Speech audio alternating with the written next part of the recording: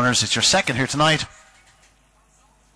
Racing, good start by Trap 2 up the inside. Lodgefield Moss and 3. Watch this space. Now 6 Cayan Champ showing good speed on the outside. Around the bend. And 6 Cayan Champ avoids traffic. Leads from 1 Capaldi Mike and 2 Lodgefield Moss, who to check slightly between the bends. 3 is next. Watch this space. Nice feeling in Stronghold Mayo, but out front, and it is 4. Or 6, should I say. Cayan Champ remains clear. About 8 lengths clear. 6 lengths clear, beg your pardon. From about 3. Watch this space. 4. Nice feeling coming between runners to go second, but it's all about 6. Cayan Champ wins well for Tony Grassick. Second is four nice feeling. Two Lodgefield Moss may have just grabbed third on the line. The winning time, 29.30.